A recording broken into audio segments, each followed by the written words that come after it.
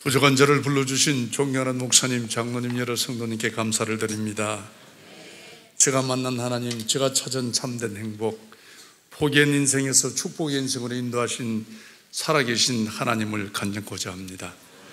저는 경남 진주시 대곡면 설매리 562-2번지 팔남의 장남으로 태어났습니다. 나이가 30이 돼도 저는 한 번도 교회를 간 적이 없었습니다. 예수님을 알지 못한 나의 삶은 방탕과 폭력과 가족들의 눈물이었습니다.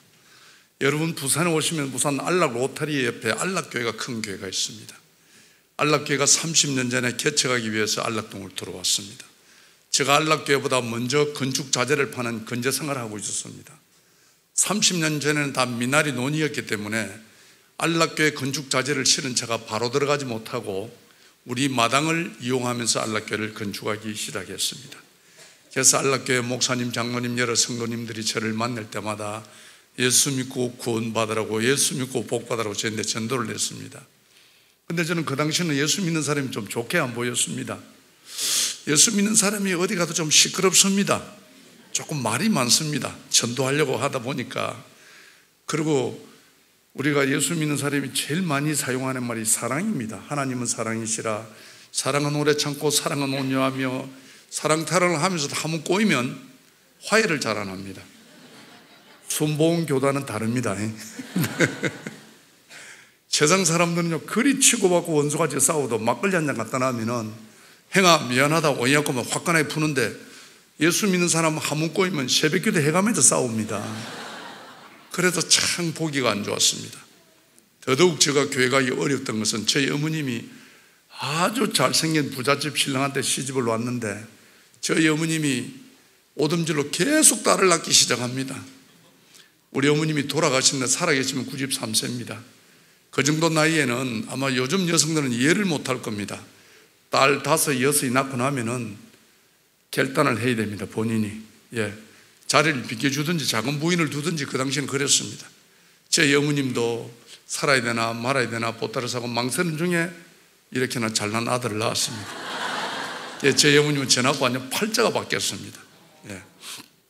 예, 제 어머님이 너는 불공을 들여서 낳았기 때문에 절대 교회 가면 안 된다는 거예요. 교회 가면 죽는다 하는 거예요. 그래서 제가 더더욱 교회 가기 어려웠습니다. 근데 안락교가 우리 마당을 사용하면서도 또 저를 교회 노라고도 전도하시는 교회가 우리 건축자재를 하나도 안 써줍니다. 예. 그래서 제가 안락교 건축이 운영되는 김경덕 장로님을 찾아가서 장로님, 예수 안 믿는 사람도 일이 안 합니다. 아무리 큰 마트가 있고 홈플러스가 있어도 이웃이 가게가 있으면 서로 좀 팔아줍니다. 근데 어떻게 우리 마당을 사용하면서도 우리 건축 자재를 하나도 안 씁니까? 그랬더니 김경덕 장로님 참 미안하다. 우리 게 나오시는 분이 건축 자재를 파는 분이 있기 때문에 어쩔 수 없다는 거예요. 천사상이 우리 게 나오기만 하면은 건축 자재를 써주겠다는 거예요. 우리 엄마는 나기만 하면은 죽는다 합니다. 누가 죽을 짓을 하겠어요? 그때부터 고민이 생긴 것이 건축 자재는 팔아먹고 싶고 죽기는 싫고 고민하다가 생각한 것이 그래 부부는 동심일체라 우리 아내를 교회 보내면 되겠다고 생각했습니다. 우리끼리 하는 말로 우리 아내는 죽으면 또 제가 장격하면 됩니다. 그래서 우리 아내를 교회 등록을 시켰습니다. 정말 우리 아내는 건축 자재를 팔아먹기 위해서 나이롱 신자였습니다. 근데도 김경덕 장로님이 그때부터 우리 건축 자재를 써주시는 거예요. 부산에 가면 빨간 백돌 교회가 많이 있었습니다. 지금은 거의 리모델링을 많이 했지만은. 근데 거의가 김경덕 장로님이 다 건축한 겁니다. 제가 그분 따라다니면서 돈을 겁나게 많이 버렸습니다. 그래도 끝까지 교회 안 갔습니다. 저처럼 무식한 사람이 고집이 셉니다. 네. 하나님은 말씀합니다. 내가 너를 창조했고 내가 너를 지명하여 불러나니 너는 내 것이라. 하나님이요 너는 내 것이라고 지명받은 사람은 좋은 말 할 때 교회 가야 됩니다. 제가 그렇게 좋은 말 할 때도 교회 안 갔거든요. 여러분이 미디어를 통해 아시겠지만 1980년도 전두환 대통령이 군부 정권을 잡았습니다. 제일 먼저 했던 것이 거리 불량자들, 정가자들, 조직배 다 부대로 잡아갔습니다. 그 여러분 삼천 교육입니다. 불행하게도 제가 그걸 잡혀갔습니다. 그 당시에는 인권이 없었기 때문에 저같이 잡혀간 사람은 완전 인간 쓰레기 취급을 당했습니다. 하루하루가 지옥이었습니다. 저희 아내가 안락교회 정기범 목사님을 찾아가서 우리 애기 아빠 부대 잡혀갔다고 울고불고 하니까 정기봉 목사님이 부대로 저 면회를 오신 거예요. 그 당시에는 일체 면회가 안 됩니다. 인권이 없었기 때문에. 지금 생각해보면 하나님이 저 영혼을 불쌍히 여기셔서 우리 정기범 목사님 아드님이 청와대에 겁나게 좋은 자리에 있었습니다. 그래서 아드님한테 부탁해서 특별 면회를 오신 거예요. 그래서 목사님이 천사장 하는데 평소에는 만날 때마다 교회 나오라 해서 참말로 귀찮았는데 그날따라 오셨는데 얼마나 반갑든지 눈물이 날 정도였습니다. 그 목사님 그러시는 거예요. 교회에 나온다고 약속만 하면은 우리 아들한테 연락해서 나오도록 해주겠다 하는 거예요. 제가 선택의 여지가 없었습니다. 목사님, 제가 나가기만 한다면은 나가는 다음날 새벽 기도부터 신앙생활을 시작하겠습니다. 그래, 각서 써라, 각서 쓰고 그때부터 나와서 지금까지 36년째 예수를 믿고 있습니다. 네.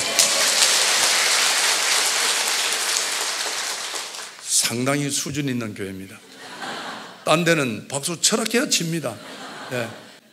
여러분, 예수 믿는 자체가 축복입니다. 저는 30년을 예수 안 믿고 어둠에 살던 사람이었습니다. 36년째 예수를 믿고 있습니다. 저는 한쪽 이야기만 하는 게 아닙니다. 저는 어둠의 세계도 살았고 또 빛의 세계도 살고 있습니다. 그래서 저는 정말 이 문제에 대해서 예수 믿는 자체가 여러분 축복입니다. 예수 믿는 배우자, 예수 믿는 부부, 예수, 예수 믿는 배우자, 예수 믿는 부모님, 예수 믿는 자녀를 둔 가정이 축복받은 가정입니다. 우리가 요, 자녀 공부 잘하는 거 좋고, 교육 많이 시키는 거 좋지만, 제일 중요한 것은 자녀들에게 말씀을 심어야 합니다. 예, 그게 성공한 가정입니다. 우리가 쉽게 생각하면, 야, 최고의 권력 자리가 있고, 돈 많은 재벌의 자녀가 얼마나 좋을까? 큰 집에 큰 차 타는 사람이 얼마나 좋을까? 때로는 그리 생각할 수도 있습니다. 여러분, 우리 주위를 보십시오. 최고의 권력자가 어디가가 있습니까? 제일 돈 많은 재벌의 자녀들이 어디가가 있습니까? 그런 사람들이 행복하겠습니까? 오늘도 말씀을 사모해서 은혜 자리에 놓으신 여러분이 행복하겠습니까? 여러분이 복받은 삶입니다. 예. 그리고 예수를 믿으려고 하면 대도를 믿는 게 좋고 한 일찍 믿어야 됩니다. 저처럼 나이 30 하루에 살던 사람이 교회 오기 억수로 어렵습니다. 교회면 술, 담배 끊어야 됩니다. 술, 담배 끊기 쉽습니까, 김 집사님? 힘듭니다. 술, 담배는 독한 마음 먹고 내가 끊는다 하지만은 예수를 오래 믿는 것도 좋지만 예수를 바르게 믿어야 합니다. 하나님이 뭘 싫어하고 뭘 좋아하는지를 아셔야 되는 거예요. 제가 첫 맹제를 맞이했습니다. 우리 김경득 장로님이 저 신앙 멘토입니다. 저를 그런 천사장, 예수는 바르게 믿어야 한다. 처음부터 확실해야 된다고. 절대 고향 가거든 제사상에 절을 하지 마라. 하나님이 제일 싫어하는 것이 우상숭배다. 두 번째는 음식도 먹지 마라. 우상을 섬기 위해서 준비했기 때문에 먹으면 안 된다는 거예요. 처음부터 확실해야 된다고 저를 앉으라더만은 제 머리에 손을 얹은 제가 기도를 했습니다. 여러분 여기 한번 보십시오. 얼마나 빡세게 기도했던지 제가 불받고 제 고향 경남 진주시 대구면 설매리 562-2번지로 가면은 우리 청가들이 한 120호가 삽니다. 제사 지내면요 새벽부터 서열대로 쫙 서가지고 전심대까지 지냅니다. 제사가 만회가. 그래서 제가 지금 생각해 보면 기왕에 절을 안 할 거면 구석에 꿀이 앉아 있으면 참 모양이 좋았을 건데 제가 무식해 가지고 저 서열대로 딱 섰습니다. 저는 그 당시는 완전 제가 깍두기였습니다. 그런데 딴 분들 인사하는데 절한다고 엎드리다 이들 보고 일어서다 쳐다보고 하는데 절 안 하고 뻣뻣하게 서가 있으니까 다 저를 이상하게 생각하는 거예요. 여러분 지금은 미디어가 발달돼 가지고 예수 안 믿는 사람도 예수님에 대해서 잘 압니다. 그래서 우리 많이 알고 전도해야 돼요. 근데 우리 고향은 30년 전에 예수를 몰랐습니다. 갑자기 부산 갔던 내가 맹절날 제사장에 절을 안 하니까 다 저를 보고 정신적으로 문제가 있다고 생각한 거예요. 일체 음식도 안 먹었습니다. 또 우리 깍두기들이 어리가 있습니다. 예. 그래서 일체 음식 안 먹고 전심대 돼가지고 가게 가서 라면 사와가지고 라면 끓여가지고 우리 애들 두하고 우리 아내 구석에 라면을 먹고 있었어요. 저희 아버님, 어머니 보니까 얼마나 기가 차겠어요. 조상 보고 절 안 한 것에도 오만 집은 대수한 어른들이 입을 다 댑니다. 그 당시에는 조상 보고 절 안 하면 쌍놈이었습니다. 그런데 그 많은 맹절 음식 놔놓고 구석에 앉아 라면 먹고 있으니까 어머니 아버지가 기가 차는 거예요. 그래서 저희 아버님이 저를 부르시는 거예요. 아들아, 왜 조상 보고 절을 안 하느냐? 아버지, 우상 앞에 절할 수 없습니다. 저희 아버님 조상이 우상이냐 하는 거예요. 저는 그 당시 뭐 잡혀놓은 지 얼마 안 돼가 우산인지 우상인지도 모릅니다. 저는 김경백 장년까지 우상입니다. 그런 거예요. 그 저희 아버님이 그럼 내가 죽어도 절을 안할 거냐 그러시는 거예요. 그때는 제가 좀 생각을 했어야 되는데 막 각종에 묻는 바람에 아버지도 마찬가지입니다. 저희 아버님이 얼마나 화가 나겠어요. 하나밖에 없는 아들인데. 저희 아버님이 저를 딱 보시더만은 바로 네 같은 놈을 호로 거예요. 조상 보고 절안 하고 부모 보고 절안 한다고. 그래서 옛날 그때는요 예수 믿으면 인연을 끊자 그래 호적을 파본다 그랬습니다. 동네 망친 집안 망친 다 일체 고향 오지 마라. 그래가 인연이 거쳐가지고 그때부터 부산 가가지고 고향이 그리워도 못 가는 신세. 언제나 그리워라 타향에서 우는 몸이었습니다. 맹결 때요 고향이 갈 수가 없는 게 모노겠어. 그래서 제가 가만히 생각해 보니까요. 저는 예수님을 잘 모릅니다. 솔직히 만난 적도 없고 그냥 부대에서 얻어 터지고 기합받고 배굴고 교회만 나오면 나오도록 해준다 하기에 나올라고 내가 교회 나온 건데 정말 모르는 그분 때문에 한평생 하나밖에 없는 이 아들을 위해서 노심조사 수고하시는 부모님 마음을 이렇게 서운하게 하게 되겠나 생각이 드는 거예요. 여러분 예수 처음 믿으면 시험이 듭니다. 그러나 반드시 말씀으로 이겨셔야 합니다. 네, 제가 그런 생각이 드는 거예요. 그래. 참 나도 예수님을 잘 모르고 나를 핍박하는 고향 어른들도 예수님을 잘 모르니 내가 예수님을 제대로 알아서 저분들에게 예수를 전해야 되겠다는 생각이 드는 거예요. 부산 가면 부산 장로의 신학대학이 있습니다. 제가 부산 장로 신학대학 입학을 했습니다. 예수님을 알기 위해서. 제가 비록 평신도지만은 부산 장로 신학생 37기생입니다. 남들이 평생 한 번도 못하는 총학생회장을 두 분이나 했다는 사실을 기억해 주시기를 바랍니다. 예수 믿고 나니까 신분이 바뀌는 거예요. 시상에. 우리 그 목사님이 저를 CBS 기독교 부산방송에 취직을 시켜주는 거예요. 저는 부산방송에 있는가도 몰랐습니다. 그리고 부산에서 제일 큰 교회, 제일 좋은 교회가 우리 통합교단에서는 우리 부산 백양무 교회입니다. 우리 백양무 교회에서 저를 전도사로 불러주는 거예요. 우리 아내가 얼마나 손재주가 좋든지 돈을 잘 벌여. 마늘에 돈 잘 벌여. 남자 직장 좋아. 제일 큰 교회 전도사라. 키 크제, 말 잘하제, 잘생겼제.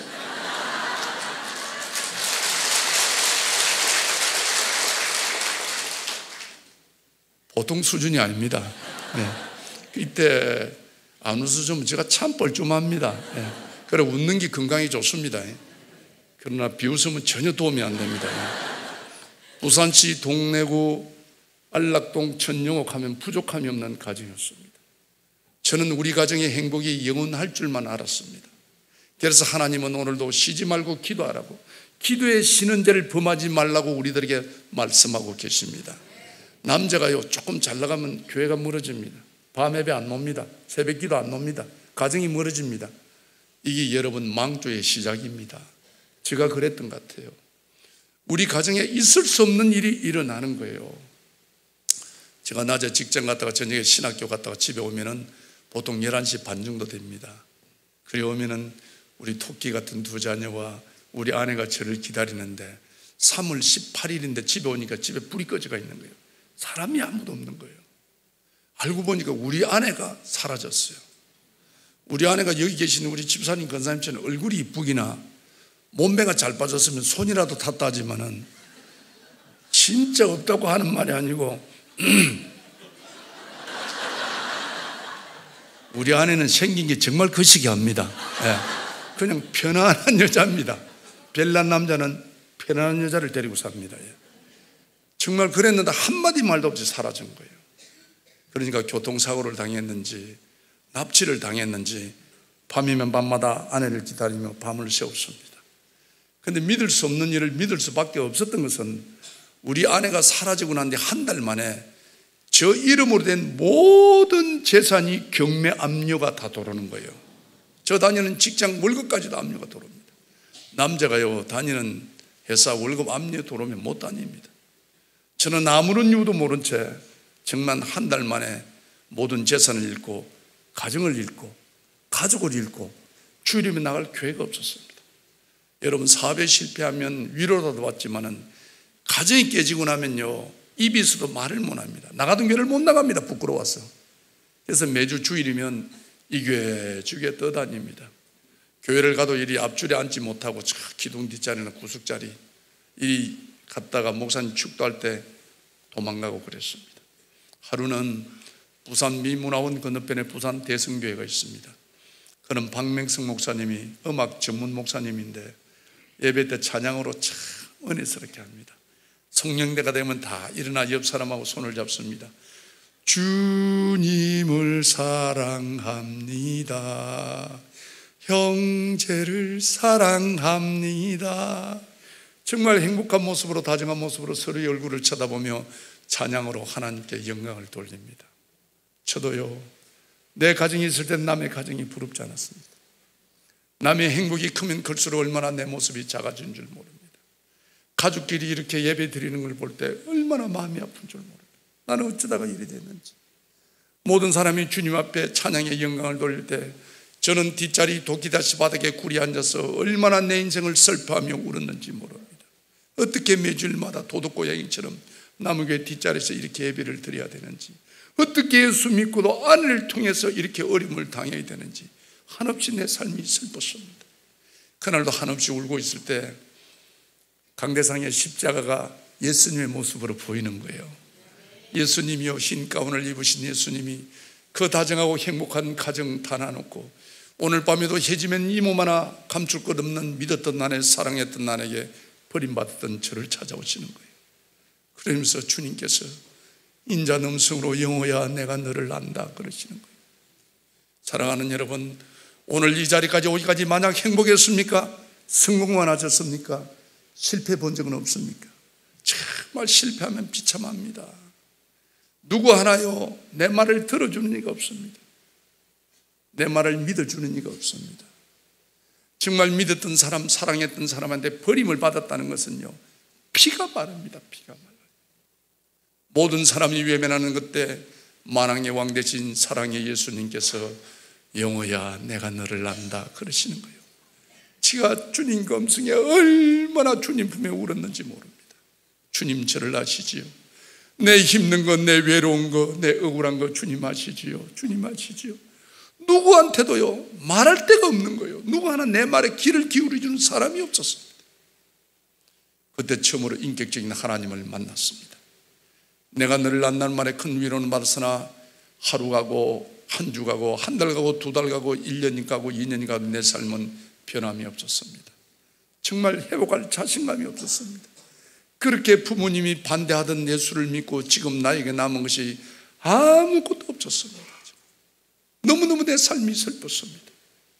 저는 하나님의 섭리는 깨달지 못한 채 밤이면 밤마다 하나님 어떻게 행복했던 우리 가정을 이렇게도 비참하게 만들 수 있느냐 아내를 통하여 정말 저는 이해가 가지 않았습니다. 이해가 가지 않았어요. 이럴 수는 없다고 좀.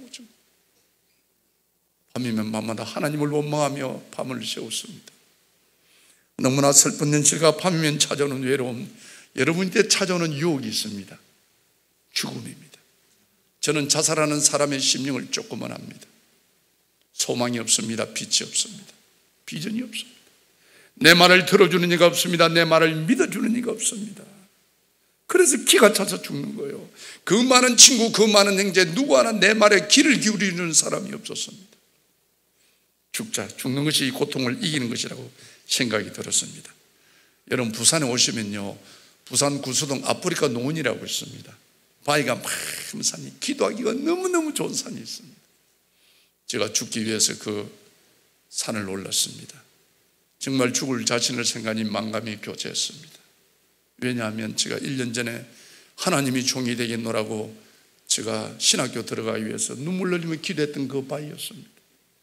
1년이 지난 후 아무런 이유도 모른 채 모든 재산을 잃고 가정을 잃고 가족을 잃고 하나밖에 없는 생명마저 끊기 위해서 그 바위에 섰습니다. 얼마나 인생이 무성한지 모릅니다. 우리 인생은 그날이 풀과 같으며 그 영화가 들의 꽃과 같다고 시편은 말씀하고 있습니다. 우리 인생은 어쩌면 아침에 이슬과도 같습니다. 저는 한 달 동안 일어났던 내 가정의 일이 꿈만 같았습니다. 이럴 수는 없다고 정말. 꿈이면 깨고 싶었습니다. 하나님, 왜 저를 버리십니까? 왜 우리 가정을 버리십니까? 늦게라도 정말 말씀대로 바로 살겠다고 신학교 가서 전도사하는 우리 가정에 아내를 통하여 어떻게 이룰 수가 있느냐? 정말 하나님은 살아계시느냐고, 정말 하나님은 선하신 분이냐고, 하나님이 살아계시다면 이럴 수는 없다고 생각했습니다. 그렇게 예수와 믿을 날을 하나님이 삼층교육까지 보내서 예수 믿겠으면 하나님의 영광을 위해서 하나님의 복을 위해서라도 내삶 위에 복의 복을 다하여 주시고 하나님의 어려운 오른손으로 한란과 위기를 막아 주셔야지. 어떻게 행복했던 내 가정을 이렇게도 처참하게 만들 수 있느냐고. 얼마나 하나님을 원망했는지 모릅니다. 막상 죽으려고 생각하니까 제일 마음 아픈 것이 저희 어머님입니다. 저희 어머님은 정말 하나밖에 없는 아들 사고 칠 때마다 전까지 안 만들겠다고 정말 놈 팔아 밥 팔아 소 팔아 합의 봐 주시고 영호야 이제 그만해라. 이제 그만해라고 내 손을 잡고 우시던 우리 엄마. 제가 죽었다는 소식을 듣는 우리 엄마는 살지 못합니다. 저는 우리 엄마의 하나밖에 없는 아들이었습니다. 우리 엄마의 전부였습니다. 그러나 그 엄마마저도 예수 믿는다는 이유로 저를 고향에 못 오게 합니다. 만나주지 않습니다. 누구보다 믿었던 사람, 누구보다 사랑했던 우리 아내가 내 인생을 짓밟고 떠났습니다. 살 이유가 없었어요. 죽자. 막상 죽으려고 바위 끝에 섰는데 이런 생각이 드는 거예요. 신앙생이 죽는다는 것이 자살한다는 것이 너무너무 하나님한테 미안한 생각이 드는 거예요. 사랑하는 여러분, 우리의 생명은 하나님 것입니다. 믿으시면 아멘. 어떤 난란과 위기에서도 자살하는 사람은 구원받지 못합니다. 제가 왜 그거를 모르겠습니까? 그러면 내 환경은 알고 지금 내 환경은 죽을 수밖에 없었습니다. 너무너무 우리 아내가 괘씸했습니다. 용서할 수가 없었습니다. 지금. 그래서 죽으려고 생각하니까 하나님한테 너무나 미안한 생각이 들어서 제가 정말 참여하는 마음으로 미안한 마음으로 하나님께 예배라도 마지막 한번 드리고 죽자고 성경을 팼던 겁니다. 나의 가는 길을 오직 그가 신하니 그가 나를 달려놨지 누구이나 내가 증금처럼 나오리라. 욥기 23장 10절 말씀입니다. 다시 말하면 우리의 가는 길을 하나님만이 하시나니 하나님이 우리를 한란과 핍박과 위기를 통해 정금처럼 만들어 하나님의 하나님의 복음의 사명자로 쓰시겠다는 말씀입니다. 하나님이 얼마나 급하셨던지 이 말씀이 비틀냅니다. 영호야, 내가 너를 버린 것이 아니라 내가 너를 정금처럼 만들어 너 가문의 복음의 증거자로 너를 쓰겠노라. 이런 깨달음을 주시는 거예요. 그 빛이 저를 살렸으며 그 말씀이 오늘날 저를 장로로 세웠습니다. 한란 날에 나를 부르라. 내가 너를 건지리니 너가 나를 영화롭게 하리라고 하나님은 오늘도 우리들에게 말씀하고 계십니다. 힘들고 이럴 때마다 여러분 주님 앞에 무릎을 꿇셔야 합니다. 우리 인생의 주인 되는 주님을 찾아야 합니다. 여러분 예수결 16장 말씀을 보십시오. 사랑하는 내 딸아 사랑하는 내 아들아 피투성이가 될지라도 살아만 있으라고 하나님이 우리들에게 호소하고 있습니다. 어떤 어려움과 한란과 위기 속에서라도 포기하지 말라는 말씀입니다. 포기하지 않으면 우리의 갈 길을 인도해 주신다는 것입니다. 사랑하는 여러분, 힘들고 그럴 때마다 주님 앞에 무릎을 꿇시기를 바랍니다. 우리 인생의 주인 되신 주님을 찾으시기를 바랍니다. 우리의 문제도 우리 자녀들의 미래도 하나님 손에 있음을 믿으시기를 바랍니다. 저는 30몇 년 전에 그 일을 통하여 2년 6개월 동안 노숙자를 했습니다. 비가 오면 이 몸 하나 피할 곳이 없었습니다. 해가 지면 이 몸 하나 숨길 곳이 없었습니다.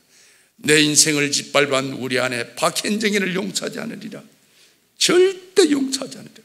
전국 박망곡곡을 찾아서라도 내가 너를 찾아내리라. 너에게 복수하리라. 이를 갈며 밤을 새웠습니다. 그 당시 부산에 1350교회 집회하는 교회는 제가 다 찾아다녔습니다. 어느 집회하는 교회 뒷자리 탁 앉자 앞에 강사님 걸으시는 거예요. 이 중에 원수가 있습니까? 용서 못할 사람이 있습니까? 죽도록 미운 사람이 있습니까? 그러시는 거예요. 저 강사님이 어떻게 내 마음을 저렇게 하시노 싶어 제가 고개 숙여 있었습니다. 이 강사님이 이런 말씀을 하시는 거예요. 여러분 바닷가에 가면 조개 껍질이 많이 있습니다. 왜 조개 껍질이 많이 있습니까? 태풍이 오면요, 태풍이 파도를 쳐서 파도가 모래를 치면 이 모래가 조개에 상처를 준답니다. 모래 상처 때문에 일반 조개는 다 죽고 만돼요. 그래 바닷가에 폐사된 조개 껍질이 많이 있습니다. 그러나 진주 목걸이를 만드는 진주 조개는 그렇지 않답니다. 모래가 상처를 주면 자기 진액으로 모래를 한 겹, 두 겹 감싼답니다. 그것이 빛난 진주가 된다는 것입니다. 내 육신에 내 영혼에 아픔을 주는 모래 같은 사람을 용서하지 못하면 내가 죽고 만다는 것입니다. 나에게 아픔을 주는 모래 같은 사람을 나의 사랑으로 그의 허물을 덮어주는 자는 빛난 진주처럼 빛난 인생을 산다는 것입니다. 그래서 용서해야 된다는 거예요. 복음이 용수요. 용서가 복음이라고 말씀하시는 거예요. 여러분, 복음이 뭡니까? 복음 중에 제일 좋은 복음은 순복음입니다. 예. 복음이 뭡니까, 여러분? 예수님의 삶이 복음입니다. 예수님의 삶을 보십시오. 사랑과 용서입니다. 예. 그래서 목사님이 그러시는 거예요. 사랑의 완성은 용서라고 말씀하시는 거예요. 여러분, 그렇습니다. 사랑한다고 말하면서 장것 하나 용서하지 못하면 그는 거짓말한 자입니다. 우리가 늘 주일날로 주기도문을 외웁니다. 주기도문 내용을 보십시오. 우리가 하나님께 우리의 잘못을 용서받는 전제 조건이 행제의 잘못을 용서할 때라고 되어 있습니다. 홍 여러분, 당회를 하시다가 재직회를 하시다가 어떤 공동 모임에 의견이 달라서 마음 상한 분이 있으면 반드시 오늘 용서하는 시간이 되시기를 바랍니다. 용서해야 되는 거예요. 용서해야 하나님이요 우리의 기도를 응답해 주시는 것 같습니다. 저도 그날 밤에 그 강사님이 저를 위해서 세우신 것 같아요. 너무너무 그 목사님 말씀이 은혜스러워서 저도 원수 같은 나를 용서하겠노라고 아멘 그랬습니다. 그래가 집회가 끝났습니다. 모든 사람은 가족이 기다리는 가정으로 다 돌아갔습니다. 제가 부산 1350개 집회하는 교회를 찾아다니는 이유는 말씀의 갈급함도 있지만 저는 노숙자였기 때문에 갈 곳이 없었습니다. 말씀의 은혜 받고 기도한다는 맹문으로 나무의 뒷자리 밤을 새고 나가는 것이 저 일상이었습니다. 그날도 집회가 끝난 나무계, 텅빈 나무계 뒤 구석에서 잠을 청합니다. 한 달도 아니고 1년도 아니고 2년을 넘어서는 차이였습니다. 너무 슬픈 거예요, 정말. 하나님, 너무 힘듭니다. 정말 진짜 힘듭니다. 힘듭니다, 하나님. 내가 재산 잃은 것도 억울하고 가족 잃은 것도 억울한데 어떻게 이렇게 두고 계십니까? 너무 힘듭니다. 그럴 때 하나님의 음성이 들리는 거예요. 하나님은요, 고난의 보자기를 타고 오시는 것 같아요. 어려울 때 하나님의 음성을 보여주는 거예요. 영호야, 힘들지? 조금만 참아봐. 좋은 일 있을 거야. 그랬으면 얼마나 좋겠습니까? 근데 주님의 음성은 그러지 않았습니다. 영호야, 너 힘든 줄만 알고 너 때문에 오늘도 얼마나 많은 사람이 힘들게 사는지 아느냐. 그러시는 거예요. 여러분, 이 말씀 우리가 한번 생각해 보셔야 됩니다. 우리가요, 내 상처만을 아파하고 있습니다. 내 상처만을 기도하고 있습니다. 정말 생각 없이 내뱉는 내 말 때문에, 생각 없이 하는 내 행동 때문에 얼마나 목사님의 마음을 아프게 하며 장로님들을 마음을 아프게 하며 교우들의 마음을 아프게 하는지 여러분 생각해 보셨습니까? 우리가 내 상처받은 이야기만 하는 내가 김지도 때문에 상처받았다고 김장로 때문에 상처받았다고 나 때문에 얼마나 많은 사람이 상처받고 아파하는지 생각해 보셨습니까? 지금은 여러분 정말 나 때문에 아픈 사람이 있다면 그를 위해서 기도할 수 있는 중보할 수 있는 성숙된 교인들이 되시기를 바랍니다 제가요 그날요 주님의 음성을 듣는 순간 나는 내 처지가 너무 힘들어서 생각할 겨를이 없었어 주님 내 때문에 누가 힘듭니까? 세상에 내만큼 버림받은 사람이 어디 있습니까? 세상에 내만큼 비참한 사람이 어디 있습니까? 내가 누구를 힘들게 했단 말입니까? 내가 누구를 힘들게 한 사람이 있으면 이름 대보라고 제가 따지고 달라들었습니다. 주님이요, 존만 해도 못 알아들으니까요. 주님이 회개의 영을 주시는 거예요. 네가 잘 나갔다는 그 30년 주묵제라는 그 시절에 얼마나 많은 사람의 마음에 못을 박았는지 보라는 겁니다. 정말 같은 죄를 반복하며 지었고도 뻔뻔스럽게 한 번도 내 잘못을 알지 못하고 내 지은 죄가 능력인 줄 알고 살았던 사람이었습니다. 하나님이여 필름처럼 보여줍니다. 네가 이는 놈이었다. 정말 숨기고 싶은 과거 용서받지 못할 죄악들 부끄러운 지난 날의 삶을 하나님이 필름처럼 보여줍니다. 네가 이는 놈이었다. 얼마나 부끄러운지 모릅니다. 제가 그날 밤에서 제가 죄인임을 깨달았습니다. 제가 용서받아야 될 사람임을 제가 깨달았습니다. 너무너무 부끄러웠습니다. 눈을 감았더니 하나님이 또 보라는 겁니다. 얼마나 네가 잘난 척하며 아내를 무시하고 살았는지 보라는 겁니다. 그래 봤더니요. 2년 동안 찾아 헤맸던 우리 아내 한상을 하나님 보여주시는 거예요.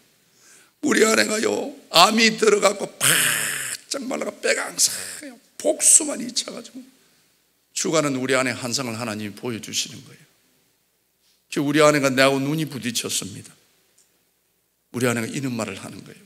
내가 저 사람을 만나지 않았더라면 내 인생이 이렇게 끝나지는 않았을 것인데 나와의 만남을 후회하며 병들어 죽어가는 우리 아내의 한상을 하나님이 보여주시는 거예요. 얼마나 우리 아내가 불쌍했는지 몰라. 내 때문에 죽는다는 것이. 정말 하루하루 꺼져가는 덕불 같은 우리 아내를 보면서 얼마나 마음이 아팠는지 모릅니다. 너무너무 우리 아내가 불쌍했습니다. 저는 그날 밤 원하겠던 나의 지난날의 삶을 뒤돌아보게 되었습니다. 저는 23살 어린 막내딸을 강제 납치를 해서 결혼을 했습니다. 깡패한테 딸 줄 수 없다고 결혼 반대했다는 이유로 결혼하고 난 뒤에 한 번도 아내를 친정해 보낸 적이 없었습니다. 천사 같은 아내와 처가점을 무시한 지난 날 아내의 실수를 이해하기보다는 나의 아픔만을 분노하며 이룰 수는 없다고 하나님을 원망하며 아내를 원망하는 믿음 없는 신학생이었습니다. 남들에게는 정의와 의리를 앞세우면서도 내 가족 내 아내에게는 한 번도 희생하지 못하고 사랑과 신뢰를 주지 못한 못난 남편이었습니다. 지놓은 삶이 너무나 부끄럽고 내 곁을 떠난 아내에게 너무나 미안했습니다. 어쩌다 내 인생이 이렇게까지 되었는지 모든 것을 다 잃고 난 후에야 가정의 소중함을 깨닫게 되었습니다. 돌이킬 수 없는 지난날 망가진 나의 인생, 저는 그때 주님 앞에 무릎 꿇고 회개하기 시작했습니다. 하나님, 어리석은 이놈을 용서하소서. 아내에게도 인정받지 못하는 형편없는 놈입니다. 성질 더러운 남편 잘못 만나 한평생 숨죽이며 살아온 불쌍한 우리 아내. 오죽 남편이 사랑이 없었으면 생명 같은 자녀를 두고 집을 나가면서 한 번쯤 남편에게 용서를 구하지 않았겠습니까? 하나님, 이대로 끝날 수는 없습니다. 불쌍한 우리 아내, 외롭게 살아온 우리 아내. 하나님, 살아서 만나야 합니다. 꼭 아내를 만나야 합니다. 아내의 아픔을 보상하고 싶습니다. 저도 좋은 남편으로 살고 싶습니다. 하나님, 가정이 그립습니다. 아내가 보고 싶습니다. 우리 아내가 너무 불쌍했습니다. 그 옛날처럼 아이와 아내와 아이들이 한 상에 둘러앉아 따뜻한 밥 한 그릇 먹고 싶습니다. 하나님, 모든 게 내 잘못입니다. 모든 게 내 탓입니다. 정말 아내를 사랑하지 못하고 미워하며 원망했던 지난날의 삶을 도리어 아내에게 용서받고 싶었습니다. 저는 그때부터 아내를 만나기 위하여 하나님께 눈물로 호소했습니다. 하나님, 아내를 만나게 해주십시오. 꼭 살아서 만나야 합니다. 눈물로 한 6개월쯤 기도했을 때 2년 6개월 만에 우리 아내 전화가 왔습니다. 정말 연약한 목소리를 아빠, 내가 아빠라고 부를 자격 없는 여자입니다. 그런 아빠, 죽기 전에 아빠한테 용서받고 죽고 싶습니다. 어디 있느냐 그랬더니 부산 보건병원에 있는데 아빠 내가 오늘 밤을 넘기지를 못합니다. 아빠 내가 오늘 아빠한테 용서받고 죽고 싶습니다. 제가 아내 전화를 받고 부산 보건병원을 갔습니다. 아내를 보는 순간 6개월 전에 하나님이 보여주시던 환상처럼 정말 내가 복수만 차가지고요. 정말 꺼져가는 등불 같은 아내를 제가 보게 되었습니다. 얼마나 불쌍한지죠. 전 아내를 보는 순간 그 바닥에 꿇이 앉아서 하나님 한 번만 살려달라고. 죽을 사람은 접니다. 내가 죄인입니다, 하나님. 정말 나 때문에 우리 아내를 보낼 수가 없었습니다. 하나님 한 번만 살려달라. 그때부터 아내를 살리기 위해서 밤마다 아내를 잡고 하나님께 눈물로 애원했습니다. 그러나 아내를 만난 지 두 달 반 만에 결코 아내를 고치지 못하고 부산 보건병원을 나오게 됐습니다.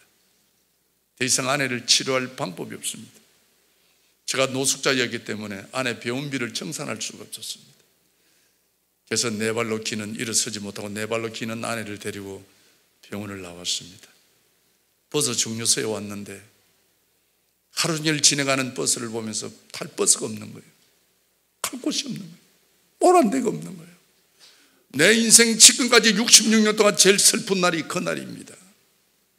정말 복수가 차가 배꼽까지 이리 빠진 우리 아내 네 발로 기는 아내를 데리고 보조 종료소에 왔는데 내가 갈 곳이 없는 거예요. 얼마나 슬펐는지 모릅니다. 해가 다 진 후에 5천짜리 여인숙을 갔습니다. 혼자 여인숙을 갔는데 우리 안에 이제 약도 없습니다. 치료도 없습니다. 진통이 오면 그 연약한 손을 바닥바닥 흔들며 소리 없이 눈물을 흘리는 아내가 얼마나 불쌍했는지 모릅니다. 이리 네 발로 기가면요 배꼽이 쭉 끌리가는 거예요. 하루하루 죽어가는 아내를 보면서 살릴 수 없다는 것이 진짜 남편으로서 할 내가 할 수 있는 것이 아무것도 없는 거예요. 아내가 힘들어 올 때마다 제가 할 수 있는 것은 아내 손을 잡고 눈물로 위로를 합니다. 같이 웁니다. 어쩌다가 우리 인생이 이렇게 끝나는지 지금 예수 믿고도 저는 예수만 믿으면 만사 행동되는 줄 알았습니다. 저희 아내는 그럽니다. 아빠 미안해요. 내가 착한 아내가 되지 못해서 늦게라도 아빠 마음 잡고 신학까지 갔는데 아빠 나를 용서해달라고 내가 미안하다. 아니야 당신이 내가 잘못했어 내가 나를 용서해 내가 나쁜 놈이었어 내가. 내가 당신한테 너무했어 내가 당신 나를 용서해줘 손을 잡고 잠이 듭니다. 아내가 잠이 들면요 똑 죽은 것 같아요. 아내 코에 기를 댑니다. 아내가 숨을 쉬는 줄 알면 제가 여인숙 화장실을 갑니다. 사람들이 시끄러울까봐 화장실 변기통에 머리를 묶고 하나님 한 번만 살려주십시오 우리 아내만 살려주신다면 절대 뒤돌아보지 않겠습니다. 정말 말씀대로 살겠습니다 하나님. 아내의 잘못을 묻지 않겠습니다 한 번만 살려주십시오. 하나님밖에 없습니다 하나님밖에 없습니다. 하나님 제가 가족 잃고 재산 잃고 찬이슬 맞으며 2년 동안 살아왔습니다. 아내를 만나 왜 하나님께 눈물로 6개월 동안 기도했습니다. 근데 하나님 어떻게 죽어가는 아내를 하나님 보도록 하십니까 하나님? 하나님은 이렇게 잔혹한 분입니까 하나님? 얼마나 내 죄가 많길 하나님? 어떻게 이런 고통을 주십니까? 우리 아내 보낼 수 없습니다. 너무 불쌍합니다 하나님. 울면은 우리 아내가 내 소리를 듣고 내 발로 기 화장실까지 옵니다. 아빠, 나 때문에 울지 마라. 나 편하게 보내도록. 내가 미안하다고. 아빠, 회개하다 죽고 싶다고 기도원에 좀 보내도라는 거예요. 일어서지 못하고 내 발로 기는 아내를 데리고 부산에 오시면요. 김해 무주산 기도원이 있습니다. 그는 지금도 차가 들어가지 않은 기도원입니다. 그 기도원을 올랐습니다. 마지막 아내의 예원이기 때문에. 그럴 때 시골에 있는 3학년, 5학년 우리 두 자녀들 마지막 엄마 얼굴이라도 한번 더 보라고 제가 데려왔습니다. 근데 이 애들도 아무런 요도 모른 채 시골에 2년 6개월 동안 떨어져 있습니다. 예수 믿는 이후로 우리 행정관이 다 잘 삽니다만은 그들도 보는 애들이 없는 완전 산 거지입니다. 애들 둘이가. 그 행복하게 잘 사는 우리 가정 자기의 실수를 통하여 2년 6개월 만에 거지 같은 자녀를 봅니다. 죽어가는 엄마로서. 얘들은 죽어가는 엄마를 봅니다. 얼마나 마음이 아프겠어요. 기도관에서 세 식구가 엄기 붙어서 하나님 우리 엄마 좀 살려달라고 애들이 통곡을 하는 거예요. 하나님, 우리야 우리 죄 때문에 죽을 수밖에 없다 하지만은 저 애들 봐서라도 하나님 한 번만 살려주십시오. 저 애들 어떻게 합니까? 저 애들이 무슨 죄가 있습니까? 꼭 하나님, 그래도 데려가야 된다면 하나님, 1년만 시간을 주십시오. 정말 제가 1년만이라도 남편 노릇 한번 하겠습니다. 아내의 상처난 마음을 제가 정말 보듬어 주고 싶습니다. 1년만 주십시오. 1년만 주신다면 제가 하나님 1년 후에는 반드시 아내를 데리고 제가 같이 가겠습니다. 아내만은 못 보냅니다. 너무너무 우리 아내가 불쌍한 거예요, 정말. 내가 미워하고 저주했던 만큼 우리 아내가 불쌍한 거예요. 하나님, 1년 후에 제가 같이 가도록 해 주십시오. 그런데 3월 1일인데도 기도원이 얼마나 춥든지 우리 아내가 하룻밤 자고 나니 견디지를 못합니다. 아파서. 다시 내려가지 않은 거예요. 아무는 기도 응답도 없이 기도원을 다시 내려갑니다. 얼마나 내 인생이 슬펐는지 모릅니다. 우리가요, 우리 하늘이 얼마나 맑습니까? 그러나 여러분, 어려운 일이 있으면 옛날 어른들 말씀처럼 하늘이 노랗습니다, 정말. 앞을 보면 우리 상거지 같은 3학년, 5학년 두 거리 같은 우리 자녀. 뒤로 돌아보면 내 발로 거꾸로 기어 내려오는 죽어가는 우리 아내. 내가 예수 믿고 망해도 어떻게 이렇게 망할 수가 있을까, 정말. 제가 하늘을 보고 그랬습니다. 해도 너무 하신다고. 예수 믿고 나만큼 망한 사람이 있으면 나와보라고 제가 소리를 질렀습니다, 정말. 그럴 때 뒤에 어떤 청년이 따로 내려오는 거예요. 이 청년은 담배를 끊기 위해서 일주일 작정하고 기도원에 왔는데 우리가 내려가니까 기도원이 무섭다고 따로 내려오는 거예요. 그랬던 청년이 우리 아내를 보더만 내 발로 기는 아내를 보고 집사님 어디 아프세요? 저희 어머님이 입이 돌아갔는데 아무 좋은 병원 좋은 침수를 마저도 안 들었는데 어떤 기도하는 권사님 기도받고 입 돌아왔다고 그 안 가보시라는 거예요. 제가 너무 지쳐서 그 청년 말도 듣지 않았습니다. 그런 청년은 그냥 지나갔습니다. 지나가면서 청년이 바람결에 권사님 전화번호를 이야기하고 가는 거예요. 운다시 애들 데리고 또 여인숙을 왔습니다. 하루 갑니다. 이틀 갑니다. 솔직히 우리 안에 죽기만을 기다립니다. 방법이 없습니다. 정말 하루하루 정말 죽어가는 아내를 보면서 여러분 죽어가는 사람하고 한 방이 있다는 게 얼마나 슬픈지 모릅니다. 저희 아내가 아빠 그 청년이 말하던 그 권사님한테 기도 안 받으면 안 되겠느냐 그런 거예요. 제가 안 된다 그랬습니다. 보건병원에서 1년 반 동안 고치지 못하는 그거를 어떻게 권사님이 기도가 나았을 수 있겠느냐 안 된다 그랬습니다. 그래서 한인들아 다시 말합니다. 아빠 기도하면 해둬라. 내가 낫기 위해서 기도받는 게 아니고 고통 없이 죽고 싶다 하는 거예요. 얼마나 아프면 죽기 위해서 기도를 받을까. 그래서 너무너무 마음이 아팠습니다. 그래서 그 권사님 집을 수소문해서 찾아갔거든요. 그 권사님 집에 가서 권사님 집에 방에 우리 아내를 누우라 하면 눕고 내가 옆에 꿀이 앉았습니다.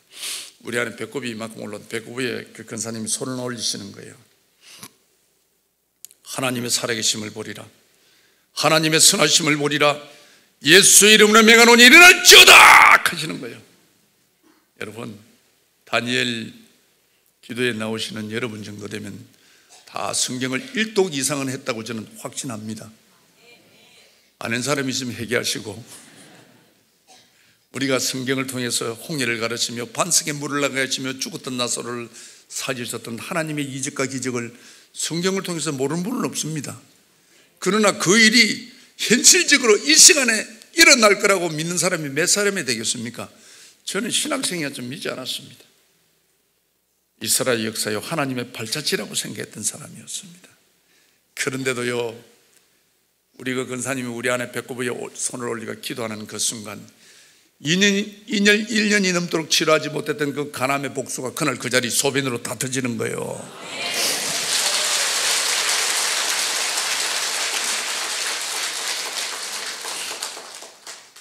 저는 그 일이 있기 전만 해도 늘 하나님께 원망했던 사람이었습니다.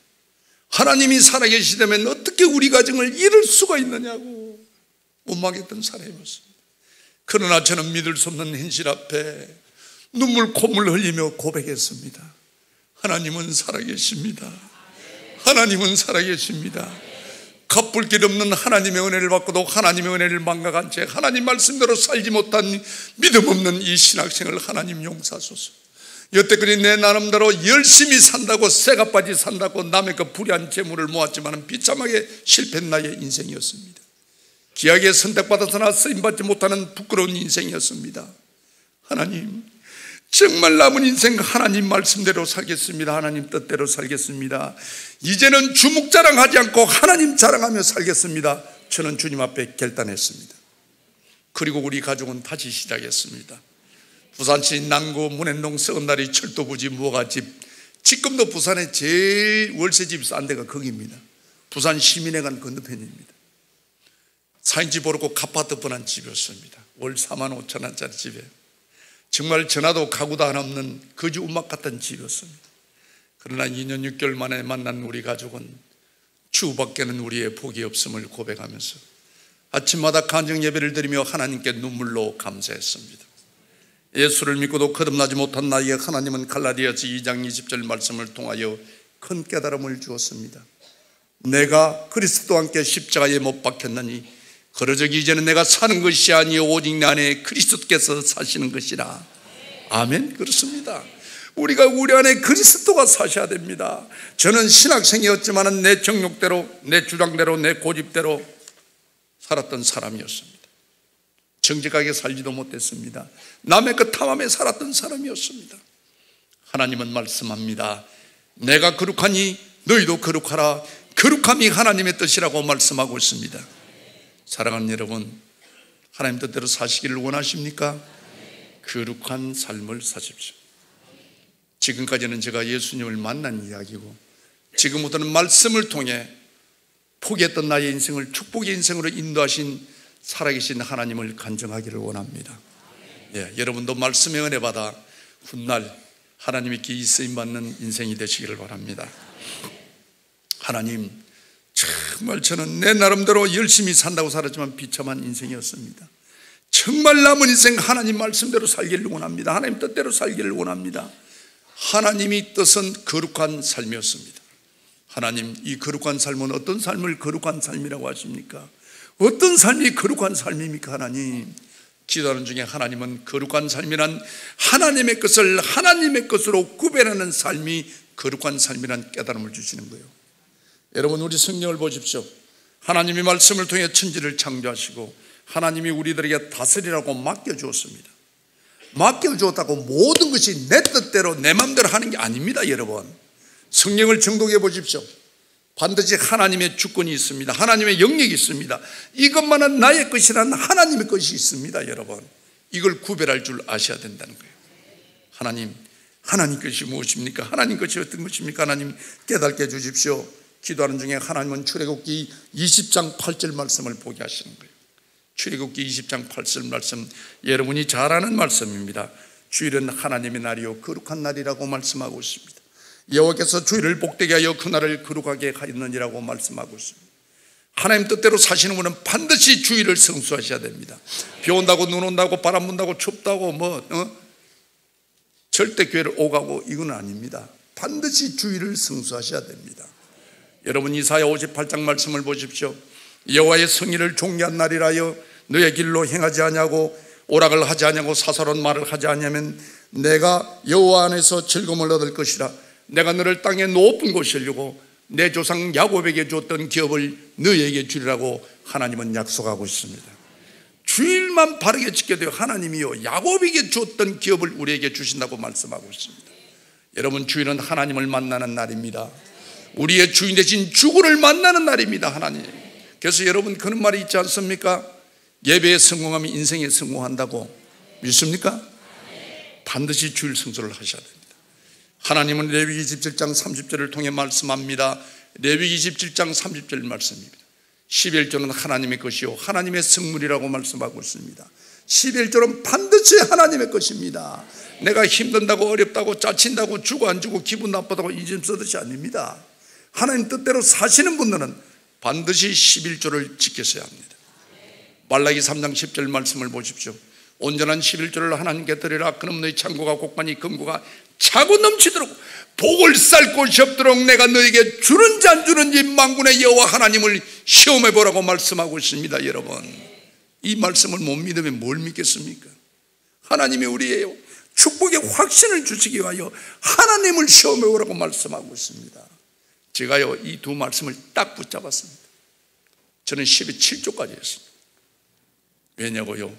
믿음은 바라는 것들의 실상이요 보지 못하는 것들의 증거라고 말씀하고 있습니다.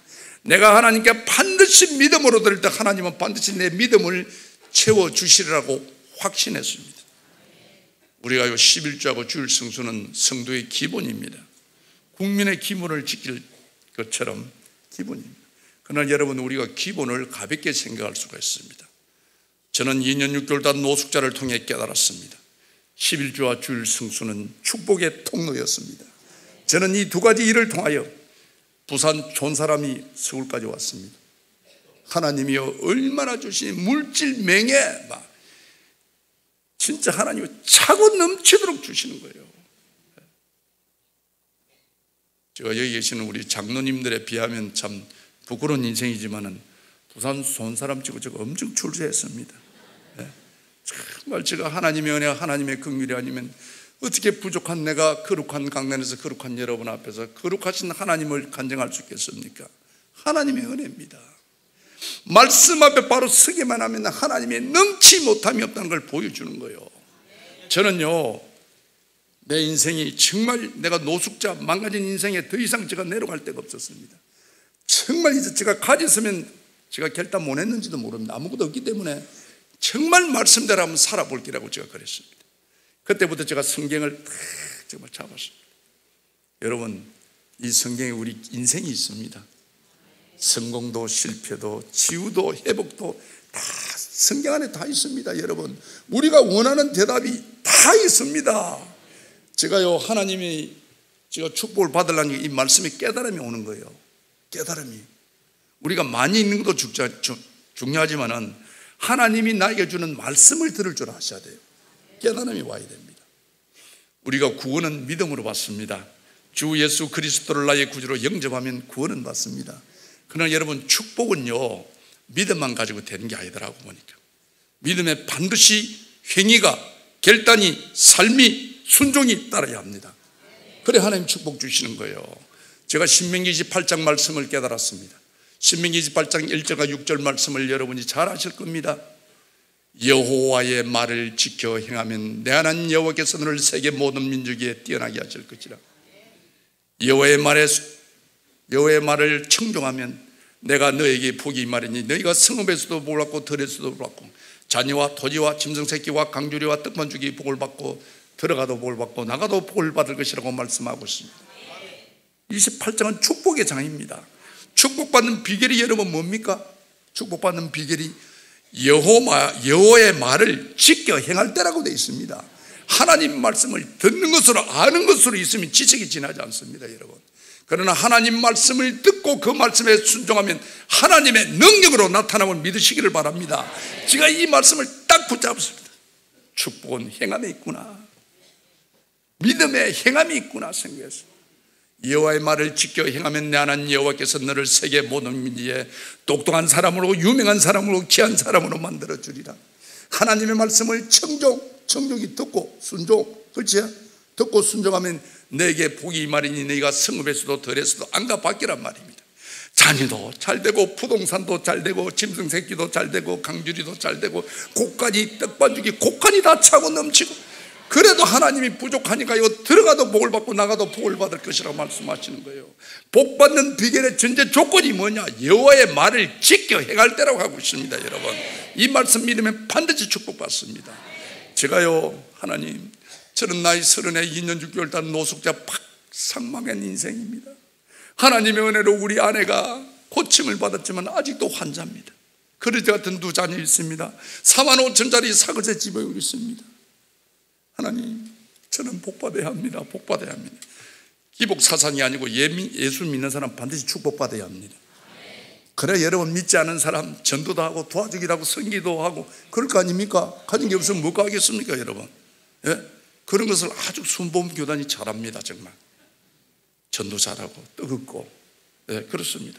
그래서 하나님 저는 복 받고 싶습니다. 복 받고 싶습니다. 복이라는 구절을 언더라인을 다 쳤습니다 저는 복을 사모해서 다쳤는데 제가 이리 딱 볼 때 시편 자문을 보면은 복 있는 사람은 어떤 사람이 복 있느냐? 정직한 사람이 복을 받더라고요. 정직한 사람이. 정직한 자의 후손은 복을 받으리라. 정직한 자의 기도는 하나님이 들어주리라. 예수 믿는 사람이 첫째는 정직해야 됩니다. 그 다음에 이리 제가 복이니까요. 시편 1편에 나옵니다. 시편 1편 주소가 없어도 됩니다. 복 있는 사람은 복 받는 사람은 딱 나옵니다. 어떤 사람? 악인들의 길을 따르지 아니하며 죄인들의 길에 서지 아니하며 오만한 자리에 앉지 아니하고 여기 전제 조건입니다. 요게 그다음에 뭐냐 오직 여호와의 말씀을 즐거워하여 그 말씀을 주하로 묵상하는 자로다. 이게 여러분 복 받는 비결입니다. 그런 자가 어떻다고 시냇가에 심은 나무처럼 많은 열매를 맺으며 그 자손이 형통하리라. 이 복 받는 삶의 길입니다. 근데 여러분, 제가 이 말씀을 묵상을 했습니다, 하나님. 묵상이 뭡니까? 묵상이. 오직 여호와의 말씀을 율법을 주하로 묵상하는 자로 묵상이 뭡니까? 묵상이 대책임진한다는 겁니다. 대책임진. 다시 말하면 말씀을 삶으로 적용하는 것이 묵상입니다, 여러분. 이것도 딱 대답이 나오는 것이 신명기처럼 하나님의 말씀을 듣고 그 말씀을 행동할 때, 순종할 때 이 묵상입니다. 묵상할 때 복을 주리라. 근데 그, 그 전에 전제 조건이 뭐냐? 악인들이 깨를 따르지 아니하며 죄인들이 깨를 서지 않으며 오만한 자리 앉지 아니하고 여기 전제 조건입니다. 이게 맞아야 되는 거예요. 이게 그뭐 한마디로 뭐냐? 복 받는 사람은 예수 믿는 사람은 자리가 중요하다는 거예요. 자리가 그래서 목사님이 여러분 아무 자리나 못 가게 하는 거예요. 아이고 내가 믿음 이 정도면 뭐 어디 가도 어때? 뭐 술집에 가면 어때? 노래방 가면 어때? 아니라 관계네. 복 받는 사람은요, 이런 자리에 가면 안 된다는 겁니다. 자리를 구분하는 거예요. 예수 믿는 사람은요, 어떤 자리?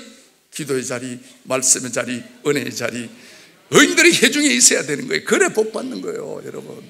제가 요 창세기를 읽어보니까요, 창세기 3장에 아담과 하와가 하나님의 묵지 마는 선악간을 따먹었습니다. 묵고 난 뒤는 하나님한테 꾸중 들을까봐 숨어 있었어요. 적어도 잘못을 알고 그럴 때 망군의 여호와 하나님이 에덴 동산에 찾아옵니다. 아담아 부릅니다. 제일 먼저 무슨 말을 했을까요? 아담아 내가 어디 있느냐 묻고 있습니다. 네가 오늘 어느 자리에 있느냐? 악인들의 길을 따르고 있느냐? 죄인들의 길에 있느냐? 오만한 자리에 있느냐? 하나님 오늘도 우리들에게 묻고 계시는 거예요. 저는 이 말씀을 깨닫고요. 한경직 목사님 전시관에 가보니까 탁 입구에 그랬더라고. 내가 어디 있느냐? 이랬습니다. 저는 아침에 일어나 묵사합니다. 영호야 내가 어디 있느냐? 네가 무슨 생각을 하느냐?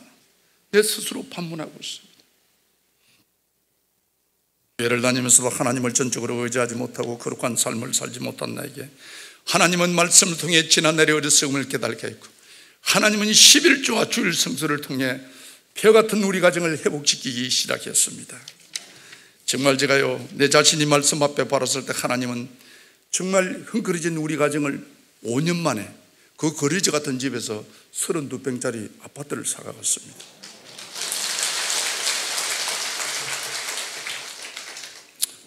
빌딩 사신 분에 비하면 별거 아니지만은 그래도 저희들은 큰 축복이었습니다.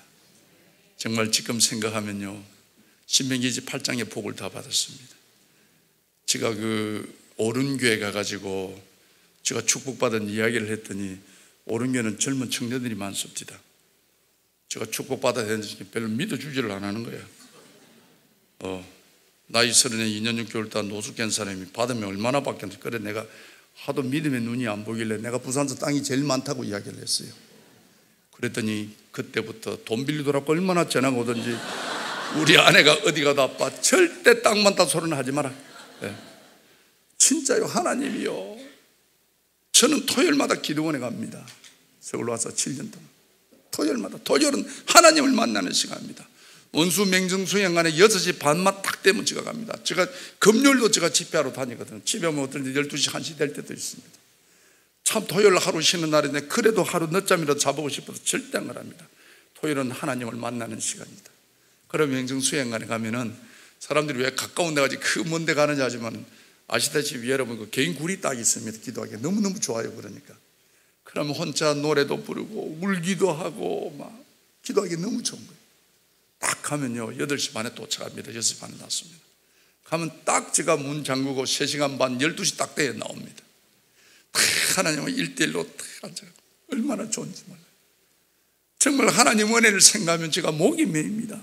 정말 나 같은 사람이 부족한 사람이 흠을 많은 사람이 정말 저는 어디 가도 전도를요, 우리 교회 제가 전도 왕입니다. 네. 왜냐? 제가 갑니다. 저, 저는 내 인생을, 저는 지난날의 인생을 부끄럽게 생각 안 합니다. 네, 그럽니다, 사람들한테. 어쩔 수 없이 예수 믿어가 팔자를 고친 사람이 접니다. 네? 인생 잘 살았다고 생각하십니까? 인생 잘 살았다고 생각할 때 별로 없습니다. 다 아시고 합니다. 지금이라도 예수 믿고 팔짱 고쳐 보십시오. 제가 전도를 진짜 잘합니다. 내인데 걸리면요 남자고 여자고 교회 안 다니면 안 됩니다. 제가 네.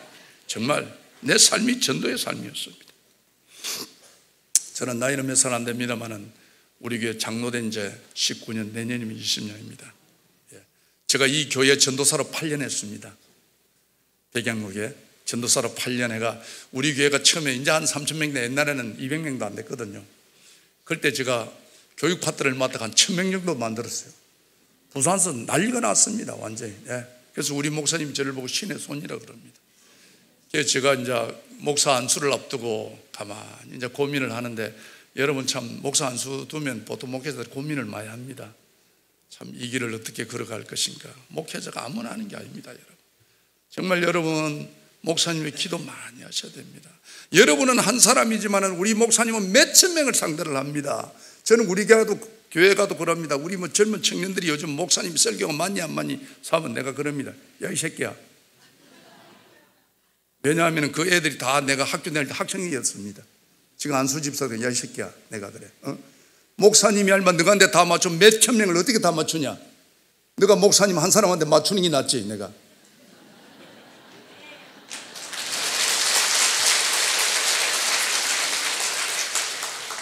그러지 않습니까, 여러분?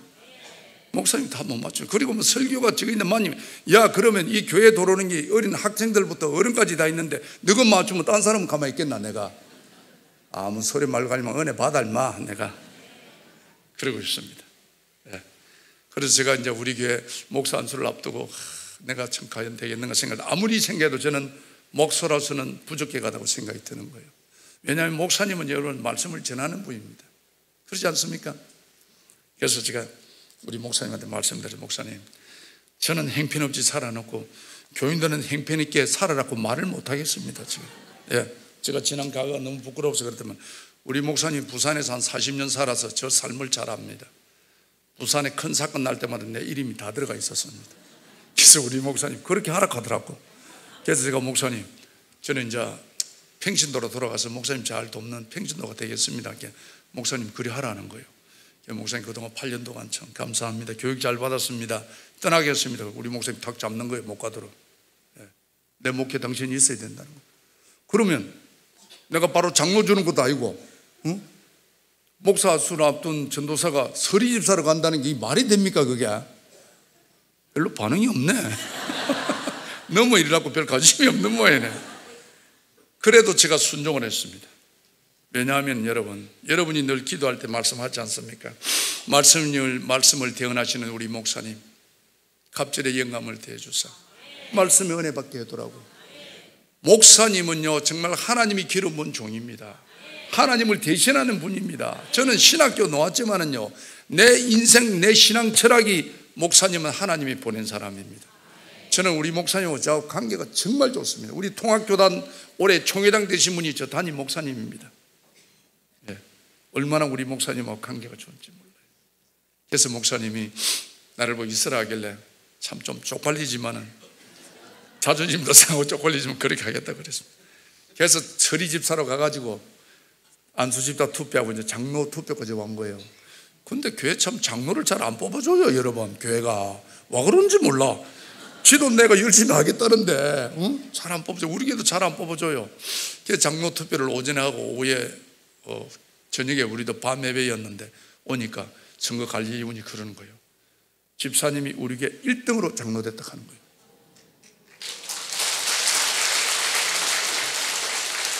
하, 진짜 목사님 너무 반응이 좋습니다. 나 한 번 더 보고 싶어요, 정말.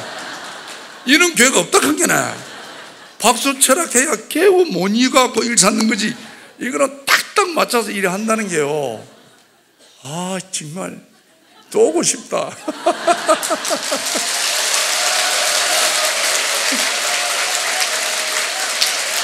감사합니다. 그래서 저를 보고 1등으로 장로됐다 하는 거예요. 제가 그 말을 듣는 순간 내 감정 지체를 못했습니다. 너무 감사했어요. 여러분, 열달 단다 탕감 받은 자고 백달 단다 탕감 받는 감동이 다릅니다. 여러분은 하나님의 자녀가 될 자격이지만 저는 하나님의 자녀가 될 자격도 없었던 사람이었습니다. 하나님의 은혜가 아니면 저는 회복할 수가 없는 인간이었습니다. 근데 하나님이 폐경국에 장로를 세워주시다니. 너무 내가 내 감정을 추스리지 못하고 화장실에 가서 얼마나 울었는지 모릅니다. 정말 내 마음대로 고집하며 온갖 죄를 다 지은 나를 하나님이 강건적으로 부르셔 하나님의 자녀로 삼아주시고 죽을 수밖에 없는 아내를 살려주시고 그러지 같은 우리 가정을 회복시켜 주신 하나님. 정말 나에게 베푸신 이 은혜를 하나님 내가 어떻게 보답할거요? 무엇으로 보답할거요? 얼마나 하나님 은혜가 감사한지, 얼마나 화장실에서 울었는지 모릅니다. 하나님 은혜가 감사해서. 지금도 저는 기도를 하면 30분을 울니다. 하나님이 너무 감사해서 정말. 어떻게 하나님 내 인생을 이렇게 바꿔주십니까? 전국으로 다 말씀 전하도록 다니고 하나님의 은혜가 아니면 어찌 부족한 제가 이 강단에 서겠습니까 여러분 어? 정말 모든 게 하나님의 은혜입니다 이 생명 불러가는 그날까지 하나님 정말 하나님 살아계심을 전하다가 가고 싶습니다 제가 제가 집회를 얼마나 다니는지 모릅니다 그래서 제가 한참 하나님에 울고 있었습니다. 너무 감사해요. 울고 있는데 마가복음 14장 9절 말씀이 생각나는 거예요. 그래서 여러분 말씀을 많이 보셔야 됩니다.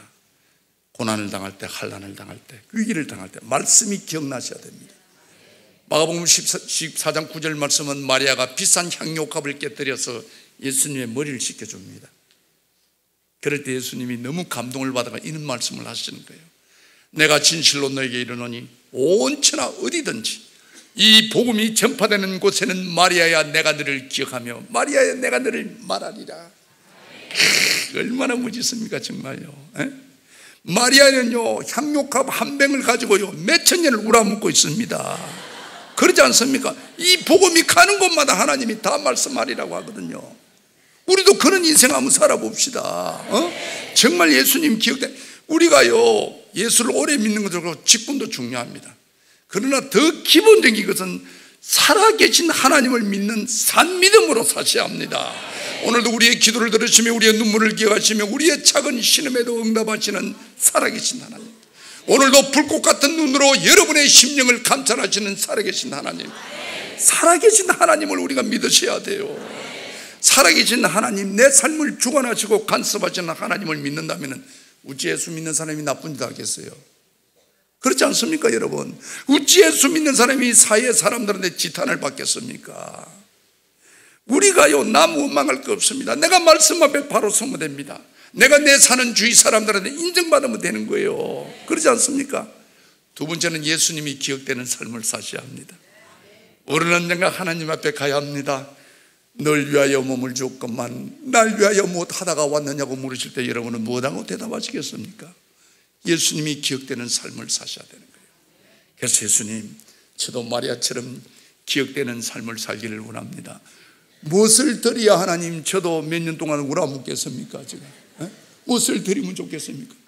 딱 생각해 보니까 저는 운동을 한 사람입니다. 제가 도전을 잘합니다. 어떻게 해서 하나님이 마리아를 기억할까? 여러분 성경 보십시오. 이 마리아처럼 내가 너를 기억하리라, 내가 너를 말하라 이런 구절은요 엘리야도 없고 엘리사도 없습니다. 아브라함도 없습니다. 해필 왜 마리아에게만 했을까? 그렇다고 이 여노는 마리아가 정말 그분들보다 더 신령이 신선한 사람이 몰라도 그러지 않습니다. 여노는 마리아는 허물 만한 여자입니다. 일곱 귀신 던 여자입니다. 그럼에도 불구하고 하나님이 내가 너를 기억하리라, 내가 너를 말하리라. 왜 허물 많은 마리아를 여러분 이렇게 말했을까요? 응? 맞다고 해주겠습니다. 여러분, 흠을 많은 마리아를 내세운 것은 우리가 도전하라고 하는 거예요. 이런 사람도 도전하는데, 이런 사람도 기억하는데 왜 여러분을 기억 못 하겠습니까? 저는 그리 생각합니다. 왜 여러분은 이 시선한 자리에 흠을 많은 나를 여 장난에 씌웠겠습니까? 여러분 힘내시라고 도전하라고. 저리 흠을 많은 사람도 하나님의 말씀 앞에 바로 설 때 일이 들었었는데 여러분을 왜 못 들었겠습니까? 도전하라고 부족한 저를 앞세웠다고 저는 생각합니다. 예. 왜? 우리 아내를 고쳐주신 하나님. 사그러지는 우리 집을 회복시키는 하나님이 여러분의 하나님이요. 우리의 하나님입니다, 여러분. 그렇다면 여러분도 지금이라도 말씀 앞에 바로 서기만 하면 여러분도 하나님이 귀하게 증거처럼 사용하시는 거예요. 그래서 이 노는 마리아가 이 허물 많은 여자를 왜 세웠을까? 왜 하나님이 이걸, 이 여자를 기억할까? 내가 가만히 생각해 보니까 저 혼자 생각입니다. 아, 주님도 자기 몸에 관심 갖는 분을 기억하시는구나 생각이 드는 거예요. 향료값 한 병에 뿅 갚은 거예요, 이게. 예. 아, 그러시구나. 저도 주님, 주님의 몸에 관심을 갖겠습니다. 여러분 에베소서 1장을 보십시오. 교회는 하나님의 몸이라고 말씀하고 있습니다. 하나님, 제가 하나님의 몸에 관심을 갖겠습니다. 제가 앉아서 통곡하고 감격하고 울던 장소가 화장실이었습니다. 하나님 이 화장실을 성기를 삼아서 이 생명 불러가는까지 이 화장실 청소를 하나님 제가 하겠습니다. 저를 기억해 주십시오. 제가 그렇게 결단했습니다. 제가 집회 가고 나면 반드시 화장실 청소하는 사람이 나옵니다, 여러분. 예, 그때부터 제가 화장실 청소를 쇠가 빠졌어요. 우리 교회는 본당하고 화장실이 별도로 있습니다. 그러니까 화장실만 별도로 에어컨 있는 교회는 별로 없습니다. 여러분 되면 얼마나 덥고 겨울 되면 얼마나 추운지 몰라요. 여러분 되면 청소하면 옷 다 젖습니다. 5년 동안 쇠가 빠지 화장실 청소한 여름날 쇠가 빠지는 말이 무슨 말인가 알지? 경상도 사투리인데 해가 빠지도록 열심히 했다는 말입니다. 이해해 주이소. 예. 그래가지고 쇠가 빠지 5년 동안 화장실 청소 여름날 또 화장실 청소하러 갔는데 아이고 장애자가 고장난 변기에 볼일을 보고 물을 눌리는 바람에 이 귀한 덩어리가 새 덩어리가 바닥에 흘러가 있는 거예요. 그래서 청소하려고 화장지를 딱 주워갖고 딱 주는 순간 우악 올라오는 거예요. 청소 한번 해보이소. 그러면 알 겁니다. 그래 나도 모르게 또 불평이 나오는 거예요. 하나님. 제가 장로 아닙니까? 장로가 장로다운 일을 해야 장로가 화장실 똥좀 싸는 사람입니까? 우리게 잘 나가는 장로님, 돈이 많이 배운 장로님은 주일 성소 재단 안 해도 돈 백만 원만 부르이고 도라고 내놔면 주부도 올려주고 최고 장로로 알아줍니다. 내가 5년 동안 열심히 화장실 청소했지만 우리 목사님이 알아줍니까? 장로님이 알아줍니까? 언제까지 내가 해야 되는데요? 그날따라 화장실 청소한다는 게 너무나 억울한 생각이 드는 거예요. 그래서 막 불편하고 있었습니다. 그럴 때 주님의 음성이 들리는 거예요. 누가 니를 보고 하락하더나 하는 거예요. 제가 그 말씀 듣고 얼마나 부끄럽던지 정말요. 내가 하나님의 하락한 게 내가 5년 전에 하나님의 귀한 직분을 받으면서 하나님 미륵 하나만 이거라도 하겠으니까 하나님 나를 기억해 주십시오. 천국 갈 때 저를 기억해 주십시오. 그래가 고작 5년 해놓고 그거 목사님 안 알아주고 장로님이 안 알아준다고 내가 주님 앞에 불평하고 있는 내 모습이 너무너무 부끄러워. 그렇게 많은 축복을 받고도 그렇게 많은 하나님의 음성을 듣고도 변하지 않은 내 모습이 너무 부끄러워서 똥새문 앞에 꿀이 앉아서 얼마나 회개했는지 모릅니다. 하나님, 저는 장로가 아닙니다. 저는 장로 자격이 없습니다. 나는 싹군 장로입니다. 나는 싹군 장로입니다. 하나님. 나를 용서하십시오. 너무너무 부끄러운 거예요. 그렇게 많은 것을 보고도 듣고도 깨달지 못한 내가. 근데 한참 울고 있으니까요. 이런 생각이 드는 거예요. 그 귀한 일 아무나 하는 게 아니야. 그 귀한 일 아무나 하는 게 아니야. 하나님이 이런 다 귀한 겁니다, 여러분. 이, 이걸 내가 몰랐고 여러분 우리가 무슨 일 무슨 일 사도요 하나님이 원하는 일이 제일 귀한 일입니다 그렇지 않습니까? 하, 그걸 몰라 이 귀한 일 하나님 다시 한번 기회를 주십시오 지금 이제 불평 안 하겠습니다 그래 다시 화장실 정도 시작했어요 네? 옛날에는요 추죽고 더럽다고 옷 베린다고 작업복 입고 면장갑 끼고 고무장갑 끼고 더럽다고 어디 묻어가지고 손 막았고 이랬는데 아 귀한 일이라 생각 들고 화장실 청소할 때 정장 입고 갑니다 제가 자, 그럼 화장실 문 앞에 딱 서면 하나님 오늘도 학문 클리닝하러 왔습니다. 완전 부흥회를 합니다. 잡초처럼 살아온 내 인생이 부끄러워 나의 모습 감추려고 어두운 길 걸었네. 제약으로 얼룩진 몸 방탕하게 살다가 병들어 상한 몸 견디다 못해 쓰러질 때 예수님 피 묻은 손 나를 구원하셨네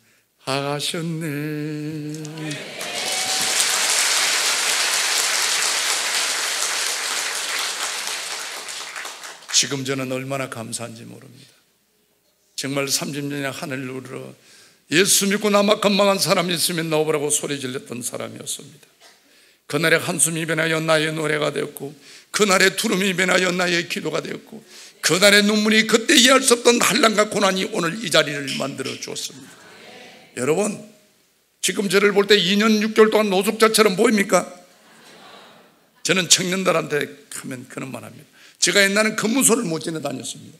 얼마나 얼굴이 험하든지 여러분 눈도 이리 제가 올라갔습니다. 눈 올라가는데 빡빡이 머리까지 해가지고 다니면요.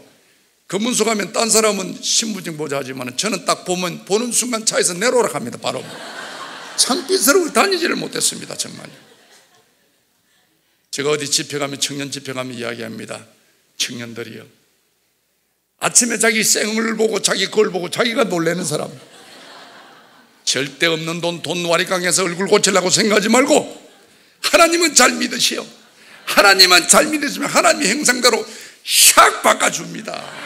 지금 저 어디 가도요, 저를 근무하다 하는 사람 아무도 없습니다. 예. 지금 저는요, 정말 그럽니다. 예수 믿고 나만큼 잘 나가는 사람이 있으면 나오라고 소리 지르고 싶습니다.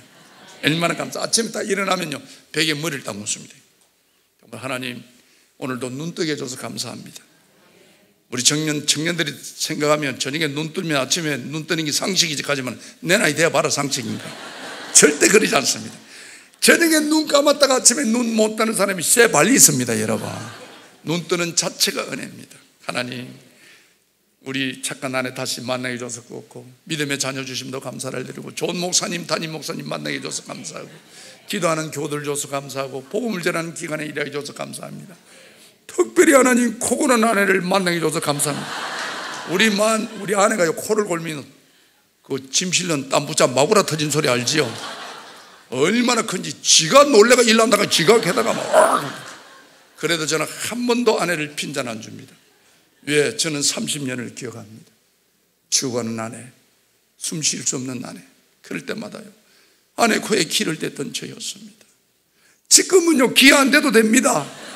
지가 시끄러운 거네. 지가 그럽니다. 살아있네, 살아있네. 홍 여러분, 가정에 코고는 가족이 있다고 핀잔 주지 마시고, 살아있다는 증거입니다. 예. 정말 그날에 지난날의 아픔과 환란이 없었다면 가정의 행복도 가정의 소중함도 인격적인 하나님도 저는 만나지 못했을 것입니다. 정말 정말 하루하루 사는 것이 하나님의 은혜요 지난날의 눈물도 환란도 하나님께서 제게 베푸신 은혜임을 고백합니다. 홍 여러분 중에도 건강과 물질과 자녀와 가족 때문에 환란과 아픔을 겪는 분이 있습니까? 힘을 내십시오. 포기하지 마십시오. 기도하십시오. 하나님은 반드시 그는 고난을 통하여 여러분을 정금처럼 만들어 하나님의 귀한 사명자로 사용하실 것입니다. 그리고 언젠가는 우리는 주님 앞에 가야 합니다. 널 위하여 몸을 주었건만 날 위하여 무엇 하다가 왔느냐고 물으실 때 여러분 부끄럼 없이 대답할 수 있는 여러분의 삶이 되시기를 바랍니다. 기왕 예수 믿는 것, 말씀에 순종하여 복받고 삽시다. 기왕 만회하여 천안하여 선택받았으니 하나님께 쓰임받고 삽시다. 감사의 눈으로 가을을 돌아보며 소망의 눈으로 미래를 바라보는 것이 신앙의 삶입니다. 하나님은 오늘도 우리들에게 말씀하십니다. 두로 말라. 내가 함께 함이라. 놀라지 말라. 난 나는 내 하나님이 됨이라. 내가 너를 굳세게 하리라. 참으로 너를 도와주리라. 참으로 나의 의로운 손으로 너를 붙들리라.